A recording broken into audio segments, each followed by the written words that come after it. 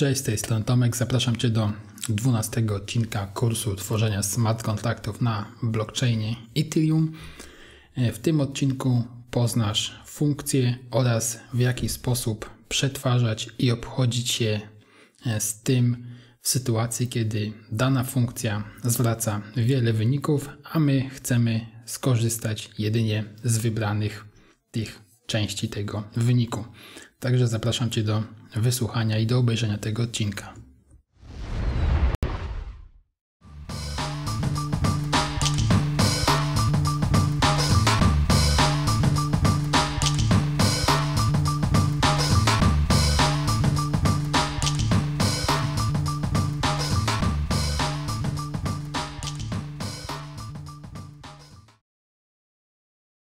Na początek może parę słów wprowadzenia i przypomnienia, czym były funkcje.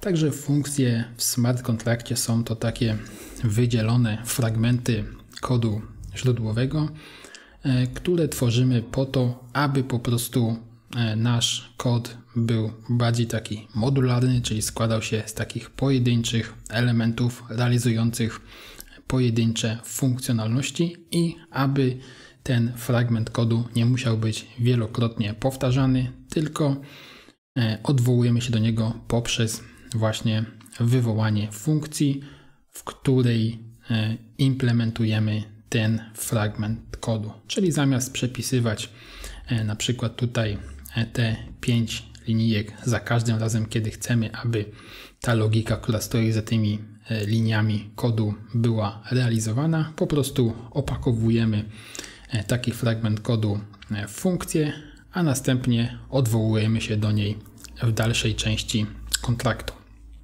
I co ciekawe, e, okazuje się, że w języku Solidity funkcja może zwracać wiele, wiele wyników. To znaczy, podczas jednego wywołania może ona zwracać wynik podzielony na różne części, i tych części może być tak naprawdę tyle, ile programista implementujący e, tą funkcję sobie zadeklaruje.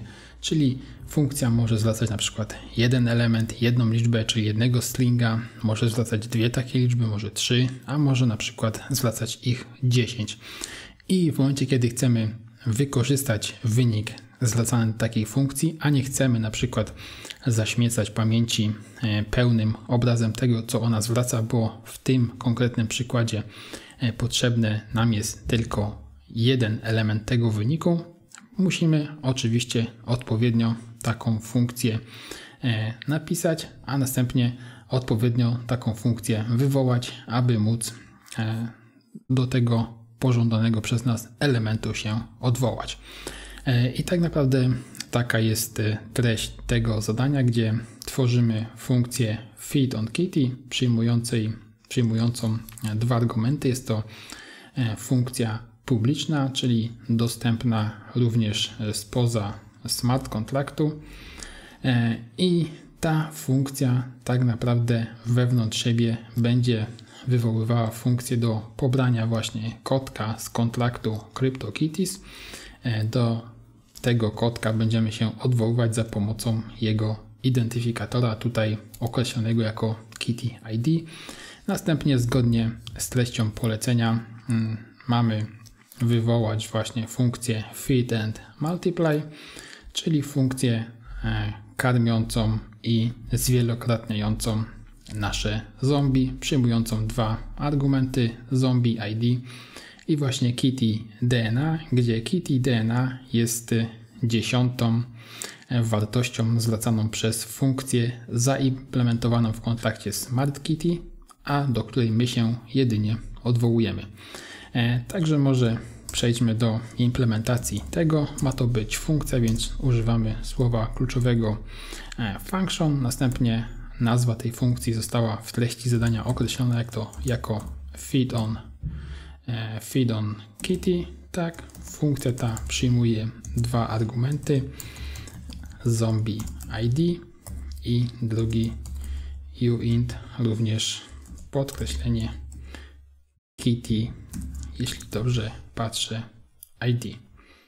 Następnie otwieramy nawiasy e, klamrowe, zgodnie e, z nomenklaturą języka Solidity. Tutaj mm, określamy ten właśnie e, nasz DNA tego kotka pobranego za pomocą smart kontraktu CryptoKitties. I tutaj e, widzimy, że to e, DNA, czyli to Genius e, ze smart kontraktu CryptoKitties jest zwracane przez funkcję getKitty jako dziesiąty element. Czyli tak naprawdę musimy tutaj umieścić 9 tych 9 mm, przecinków, a za dziewiątym właśnie podać tą nazwę zmiennej Kitty DNA. Czyli to będzie tak 1, 2, 3, 4, 5, 6, 7, 8, 9. Mamy 9 przecinków. Mam nadzieję, że tutaj się nie pomyliłem, co zaraz się okaże. Interesuje nas właśnie pobranie zmiennej Kitty DNA i tak jak wcześniej wspomniałem, e, odwołujemy się do kontraktu CryptoKitties do funkcji getKitty która zgodnie z tym, co zaimplementowali programiści projektu CryptoKitties, przyjmuje jeden e, argument o wartości właśnie CryptoID. Następnie, zgodnie z poleceniem zadania, wywołujemy funkcję e, feed and multiply, w której podajemy, a w zasadzie przekazujemy parametry podane do tej funkcji. Pierwszy z nich to zombie ID i drugi wyliczony, a w zasadzie pobrany przez nas ze smart kontraktu e, CryptoKitties przez funkcję getKitty DNA tego naszego nieszczęśliwego trochę kotka. E, I według mnie to już wszystko. Zobaczmy, czy tak naprawdę to zgadza się e, z treścią zadania. Widzimy, że tutaj są jakieś problemy. Zaraz zobaczymy mm, o co chodzi.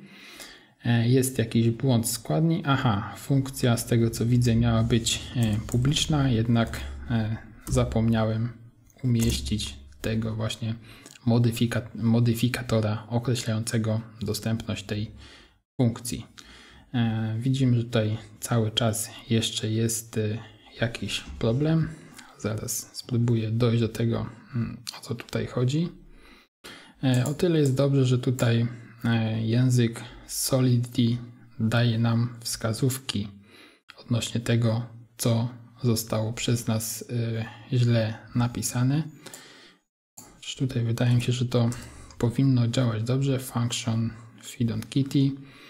Mamy dwa argumenty. Y, zombie ID, kitty ID. Mamy funkcję public, unit ID, następnie kitty DNA, u int. A, tutaj jest literówka, powinna być u int. Tak. I myślę, że to o to chodziło. Try again. Tak, zgadza się.